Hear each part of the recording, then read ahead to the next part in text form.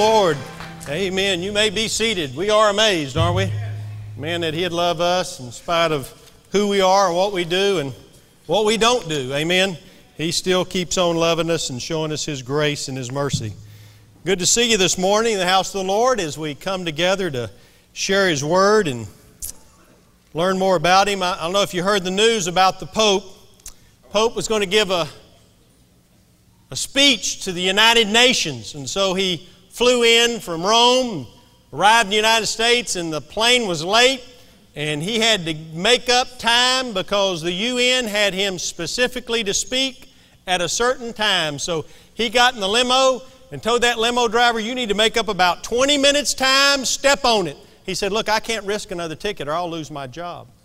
So the Pope said, Here, I got an idea. You get in the back and I'll drive because I don't have any tickets because I never drive anywhere.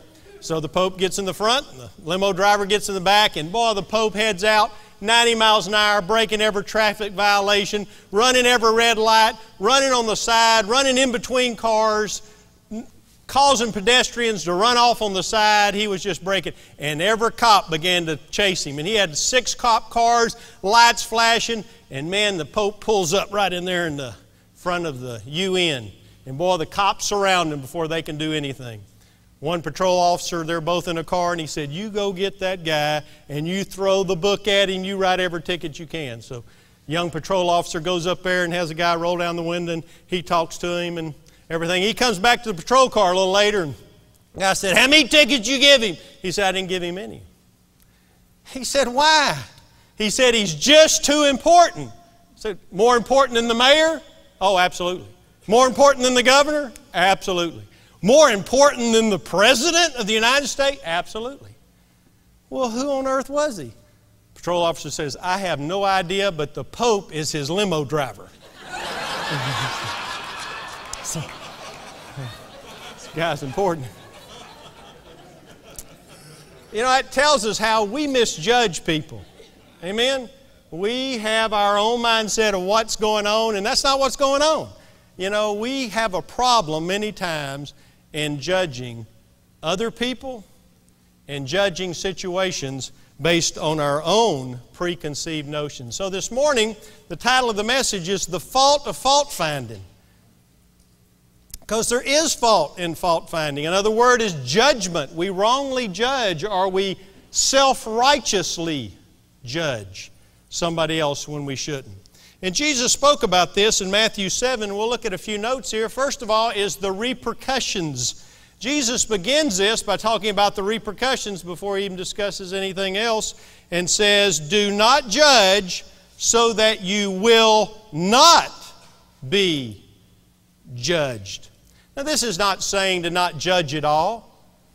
Jesus is not saying that. He's talking about a little more specifically later, but you have to make judgments. How would you know who to marry, where to go to college, what car to buy, you know, where to make this investment, where not to make this investment, where to, you know, you have to make judgments all the time.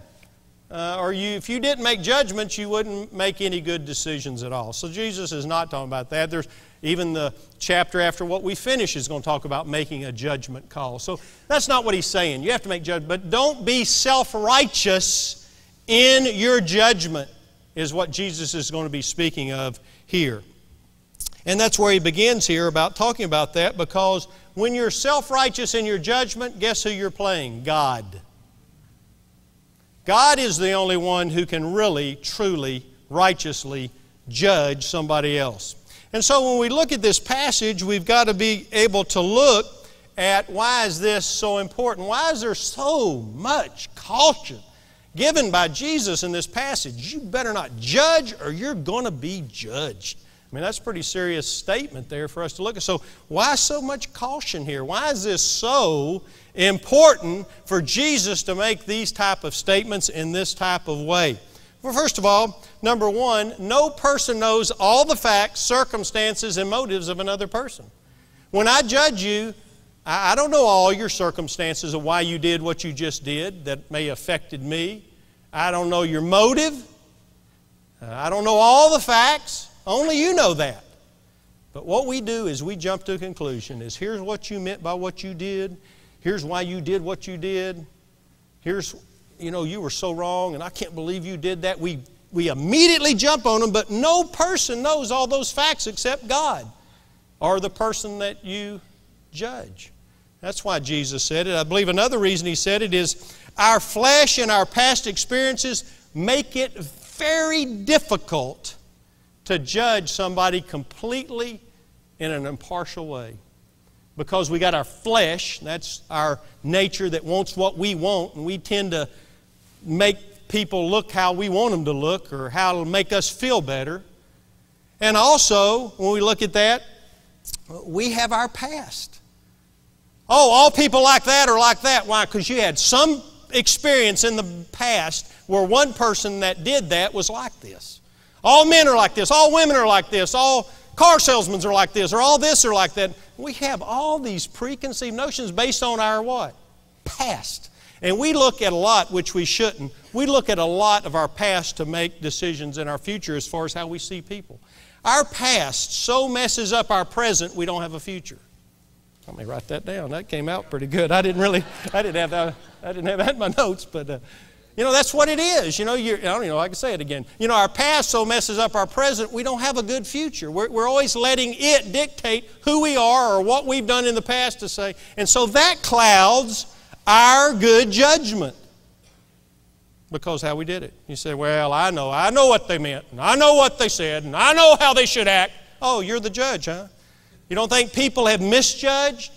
You know, there was a young girl that was in drama school, and the drama teacher said, out of here. You know, good in drama. You're too shy to put your best foot forward. You know who that girl was? Lucille Ball. Do you know the Lucille Ball show was voted by America from the time TV began, which was black and white? Yes, there was black and white TV, kids. From black and white TV till today, the number one show in America was voted the Lucille Ball show. You're no good. You can't do drama. Wow. What a misjudgment. A group came to audition for a music uh, recording studio. You're no good. And matter of fact, you're no good. Guitar music's on the way out. You know the name of the group? The Beatles. A little bit of misjudgment there. Young ball player said, You're cut from the team, you're no good in basketball. He went home and cried. His name? Michael Jordan. You're cut from the team. You're no good in basketball. Guy was in the newspaper, worked for the newspaper. They said, You're fired. You have no creativity, you have no original ideas. His name, Walt Disney. No creativity? No original ideas? You're fired? A little bit of misjudgment. Young boy was sent home from the teacher with a note Take him out of school. He is too stupid to learn. Name Thomas Edison. Well, praise God, he was too stupid that we have some lights now to look at what we do in the auditorium. That's pretty stupid. People always are making misjudgment calls on other people. You say, Well, I'm glad those people did because I don't. There's a misjudgment right there. You're still you're already misjudging. God, how many misjudgments do we make on other people? How much better our life would be if we began to think the best and not the worst. You know, the Jewish rabbi said there were six things that added credit to a man's life. You know what one of those six things in those Jewish rabbis were? To think the best of other people. But you know what our flesh does? You act like you don't know. We think the worst. That's what our flesh does. No, if you said that or did that, you jump to the worst conclusion, not the best. And we're to think the best of others, not the worst. And then, of course, Jesus says this one reason we ought to be very cautious because you and I are going to be judged. Go ahead and do it. But you'll face the consequences that he just mentioned. Why, why you mean judge? You know, why? Because God's the only judge. And if you play God, that's a dangerous place to play. Have no other gods before me except for me. That's what we're saying about ourselves. I will be God.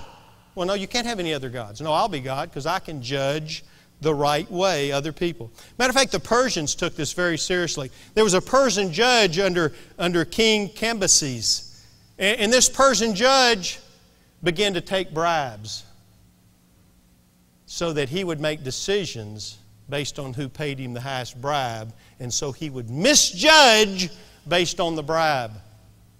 The king found out about it and had him executed, and then did something else fillet his skin off his body and reupholster that judge's chair with his skin. And so they did it. So that future judges that sat in that chair had a little bit of reminder what would happen to them if they misjudged and took a bribe. That'll make you judge right, won't it? So, ugh, you know, I see this guy's going to give me a bribe. No, I'm going to judge righteously. Uh, this guy needs to, I think, go this way. I know that guy. No, I think I'll judge righteously. That'll give you a motive. This ought to give us a motive. Judge not, lest you be judged as we judge other people. The Bible says that to receive mercy, we're to give mercy. So if you're going to be so harsh on them, just not to have any mercy on them, say that's what they are and that's what they did, and I'm then okay, let's have that kind of mercy not shown towards you by God. You're going to set that kind of standard? Maybe that standard will be returned to you because Jesus talks about the rate of return. And what is the rate of return? Jesus mentions that. For in the way you judge, you will be judged and by your standard of measure, it will be measured to you. So you're going to hold them on that high standard? See, Jesus, that's his. God has a high standard. We're talking about ourself, our self-righteous judgment, not the Bible telling us what to do. What we're telling other people in the sense of our judgment toward them, I'm going to hold you to a higher standard. So you're saying you want to be held to that higher standard. And I hope this happens to you because you're doing that. You want that to happen to you when you do that?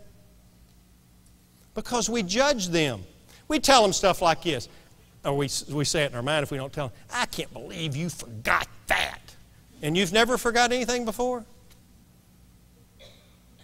I can't believe you didn't acknowledge me. And you've never forgot to acknowledge somebody? Oh, I can't believe you asked me to do that. And you've never asked somebody to do that? I can't believe you didn't listen to me when I was talking. And you've never not listened to somebody when they weren't talking? You know, that'll make you feel a lot better about yourself when you get upset with somebody at work, at school, or whatever. Just walk away when you're about to, they can light a match on your forehead. Why don't you just say, you know what? Have I ever done that? And you'll probably walk away saying, I did. So don't get so mad at them. You've done that before. Show them a little mercy, like you hope somebody that you did that to would show you a little mercy.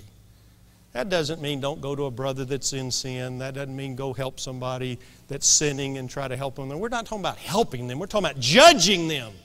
There's a whole different statement here. Because you know what?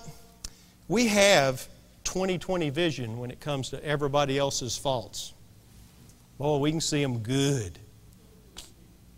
We see everybody's good. 2020. But we're almost blind sometimes to our own. You know? We don't see our own.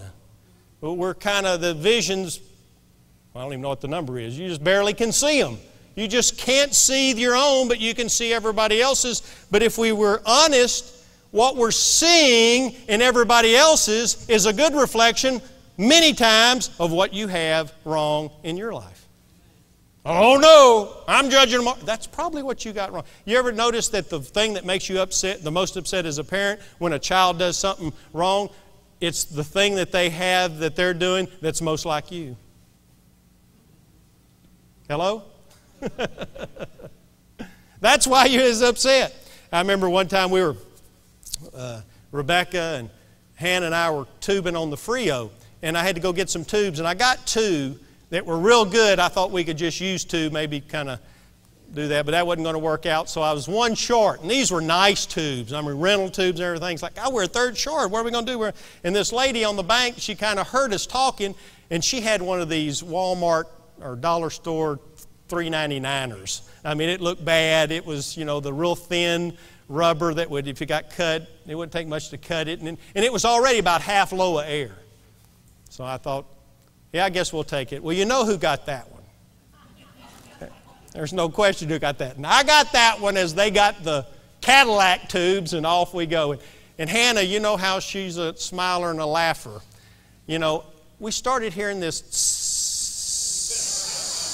as we're as I'm on it and we're going down the river, and she was laughing like nobody's business.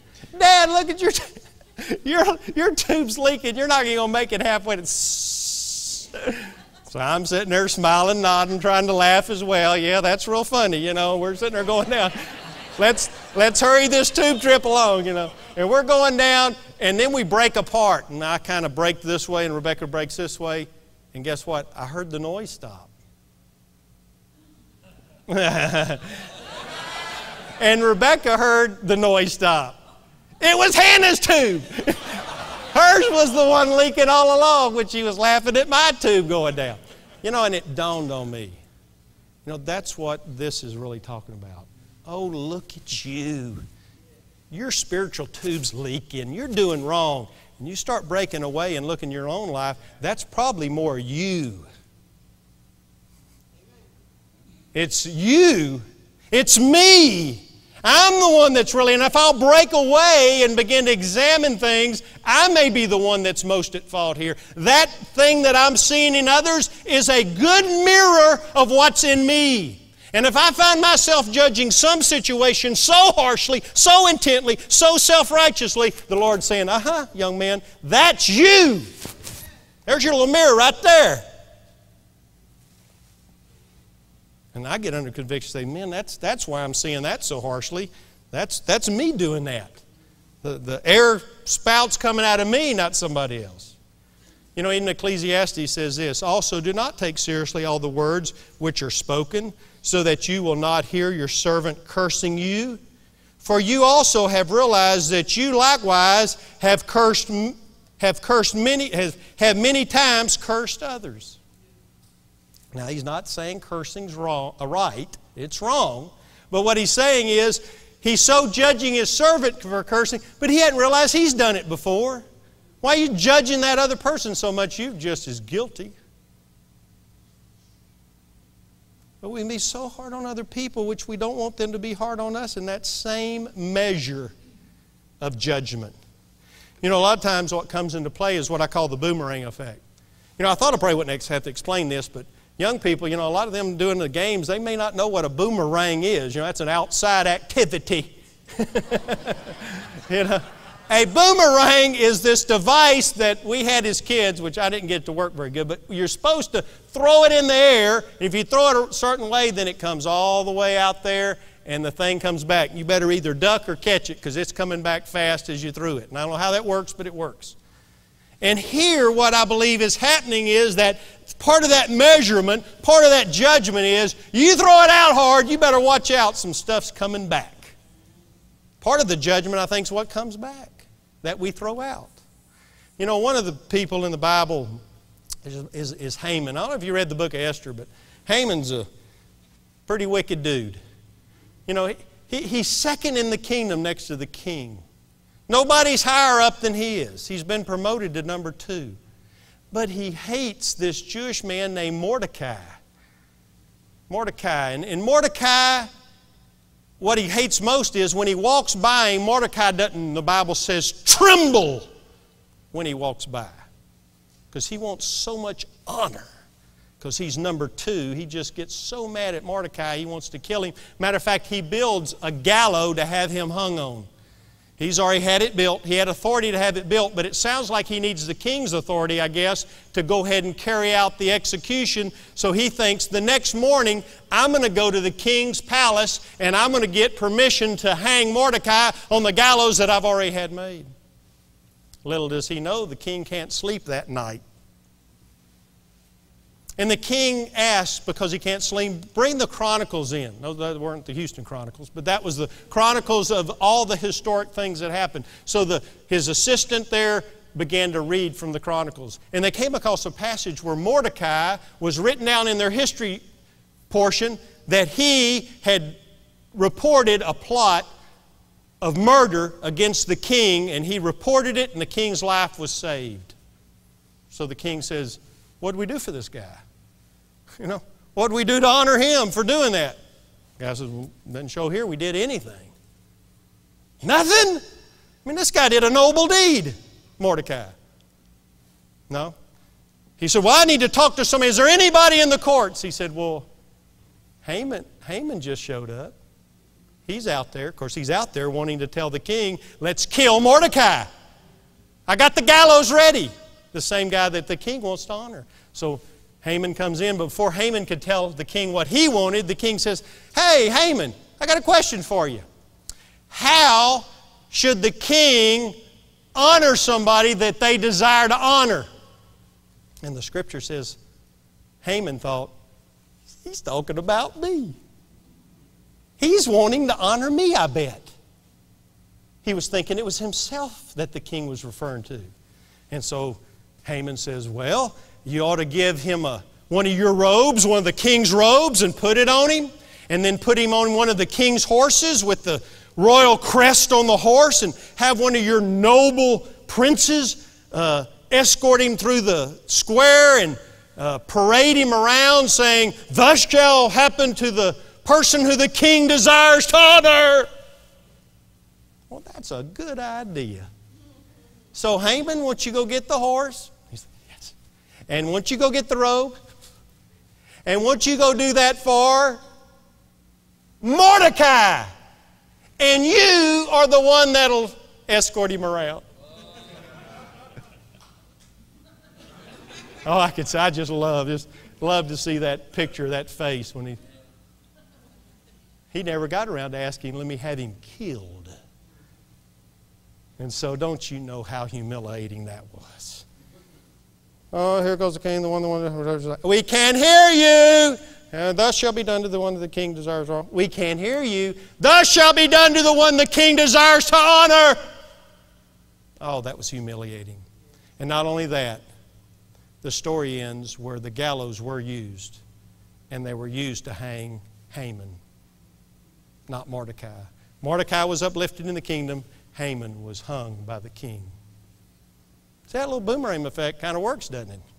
The thing that we want for others sometimes swings right back to us, and we see the problem. The other is being a false witness. The Bible says if a witness is a false witness in court, he has accused his brother falsely, then you shall do to him just as he intended to do to his brother. Uh oh. What he brought the brother into court for and wanted to have happen to him, if you find out he reported it falsely, he judged falsely, then you do to him what he wanted to do to his brother. That's some boomerang judgment right there. We could go on and on. There's just not enough time to list them all. Adoni Bezek. How'd you like to have that name? Eh, but Adoni Bezek fled, and they pursued him and caught him and cut off his thumbs and big toes. And Adoni Bezek said, 70 kings with their thumbs and their big toes cut off used to gather up scraps under my table. As I have done, God has repaid me. I had 70 kings' toes and thumbs cut off as judgment. And now that they've caught me, and that's what I deserve because I did it to them. They ought to do that to me. I'm being repaid for what I did. That boomerang just comes right back. And we see that a lot in life, I believe. If we would stop and think of how much stuff has boomeranged back on us that we should have never thrown out as far as judging other people harshly. Yes, it's the grace of God, but there's still benefit or there's still consequences to judging like God has asked, has commanded us here not to judge. And then the last part is the resolution, which Jesus gives. He says, Why do you look at the speck that is in your brother's eye, but do not notice the log that is in your, your own eye. You know, you're looking over there at your brother, sister, friend, neighbor, and you say, I can't believe you got that speck in your eye. And you've got a big log, big thing they just cut out of the forest, this big timber that you're hanging from your head. And you're noticing a speck in somebody else, a piece of dust in somebody else's eye. Now, a piece of speck's not good to have in your eye. I mean, we're not saying the other person doesn't have something. I mean, you don't even want to have a speck in your eye. I mean, it's not right to have a speck in your eye. But it's wrong for you to have a log in your eye trying to help somebody else with a speck. That, that, that doesn't add up. Jesus says clearly that we shouldn't do that. You know, Galatians says, Brethren, if anyone is caught in any trespass, you that are spiritual, Restore such a one with the spirit of gentleness, each one looking to yourself, so that you too do not be tempted. Now, what do you have to do to be able to go to a brother that's sinning? Judge them that they're sinning. How do you know they're sinning? Well, I have to make a judgment call. It looks like they're in sin. Okay, that's okay. But before you go to them and offer any kind of advice or counsel, you better look at yourself and say, you know what, I've probably done that, thought of that, I could easily fall into that. So, you, if you do that, now you're going to go in a spirit of gentleness instead of before you say, I can't believe you did that, you sinner. Don't you know you're a Christian? No, you'll be going, man, brother, that's wrong. And man, I've been there, I've, I've thought of that, or man, I'd, I'd fall except for the grace of God myself. But let me help bring you to restoration. Let's see what we can do to help you and bring you back into the fold and minister to you. I'll minister to you because I can, because I've either fallen there or thought of falling there, or by the grace of God, not, and God help me, give me strength not to. See the difference? That's not self righteous judgment. That's judging yourself and seeing how wicked we are so that we can help other people in sin. That's the way God wants us to do. That's the way He wants us to see it. Because He goes on to say this or how can you say to your brother, Let me take the speck out of your own eye, and behold, the log is in your own? In other words, how can you do that? You, know, you, can't, you can't even see to help them. Why? Because you're so blinded by your log, you can't get that speck out. You can't even see the speck because of the judgment. You know, that one of the world's most distinguished astronomers in the 1800s was Sir Percival Lowell. He was unquestioned in his astronomy. And he always believed there was life on Mars, more intelligent life than humans and, and all that. And he read where another astronomer had said he saw, out of his telescope, he saw canals and channels and river type things and Mars, which Percival Lowell thought, well, there you go, right there, that's evidence. And so he began to look in his big telescope in Arizona and he began to map out all the rivers, canals, streams on Mars. And he was never questioned that all that was correct. Well, today we know that's a lie. We've got telescopes, Hubble telescopes. I mean, we can go up there and see a little small rock. And so we know that that's not true. There are no canals, there are no channels, there are no rivers, there's no life on Mars. So what did he do? Well, Percival Lowell, they look, and looking back at his life, there was two explanations. One, because of his belief that he thought life was on Mars, he believed he was seeing canals and channels because he wanted to. A lot of times we see things wrong in other people's life because we want to. Because we want to get even. And we don't like what they did, and they did us wrong, and we want to get even, or we want the argument to go our side, and we'll see stuff that we want to see. Because if you look hard enough at any of our lives, you'll see fault. You don't have to get out the binoculars to see fault in any of us. But what happens is sometimes we get the binoculars going on spouses, on friends, or church members, or relatives, on parents, on children, on whatever, and we get those microscopes out and we begin to see stuff, and you'll find it. But who said you should be looking that hard?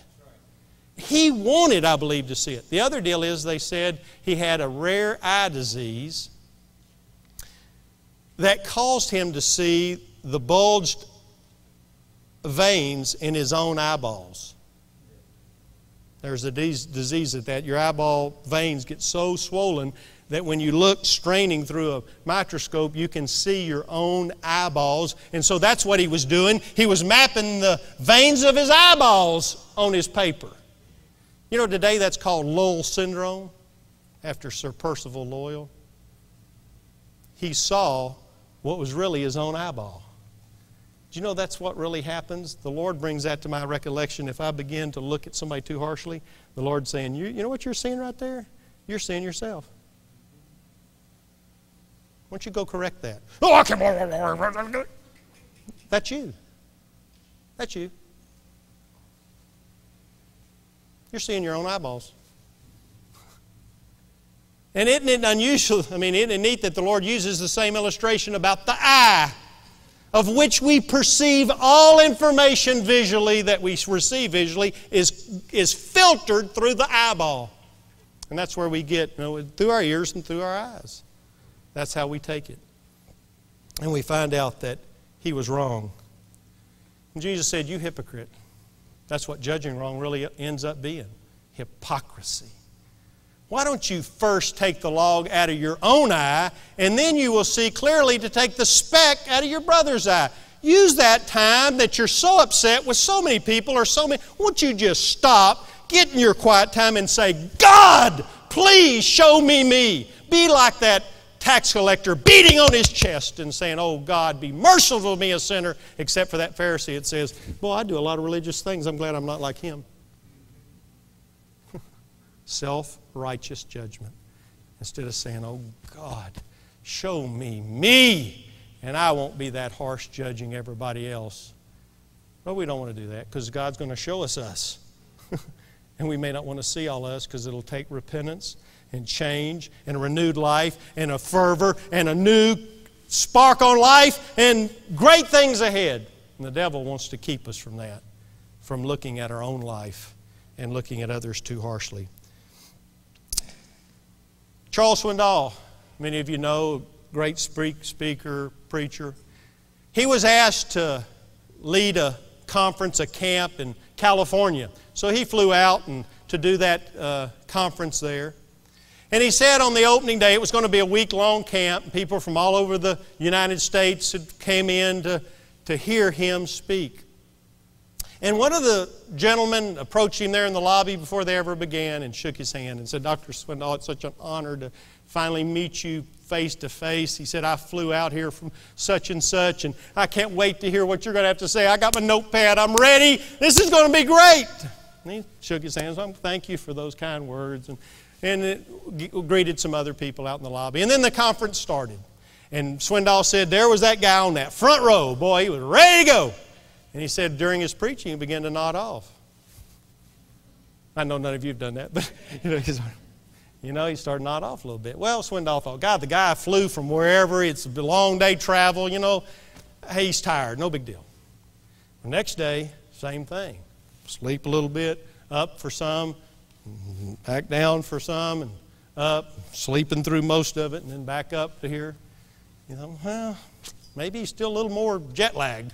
You know, next night, same thing, next night, every night, same thing, going to sleep on his and I don't know about you, that doesn't make you feel very good as a pastor or preacher because in, in Swindoll, it ate him up. He thought, man, I, I prayed so much about this. I prepared, I studied, looked at the Greek, I put all this together, put this, I put a lot of work into this, and this guy's down there sleeping. For him to even come here and sleep during my messages, he just kind of lit Swindoll's fire. And so conference was over, and he was out in the lobby and began to meet people and whatever, and here comes this lady up. And she shook his hand. Dr. Swindoll, oh, this has been great, man. She said, I just want to thank you so much. You've been such a blessing to my husband.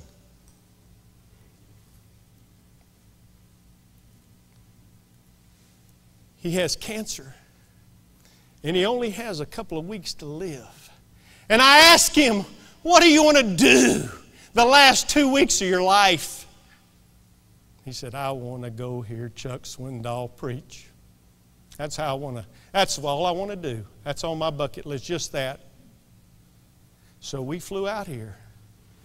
But Dr. Swindoll, I want to apologize to you for him sleeping during those messages. They give him such high, powerful pain medicine to keep that pain from that cancer down that it just knocks him out. And I just want to apologize to you for him dozing off during those uh, sermons. But then she went on to say this But I want you to know that you made this the best week of the last part of his life. Swindoll said, I felt like climbing under a rock. I just wanted to erase myself. How I had misjudged him, and how all he wanted to do was come hear me. How many times have we done that?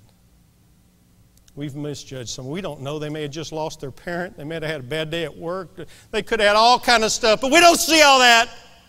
We just see what we see.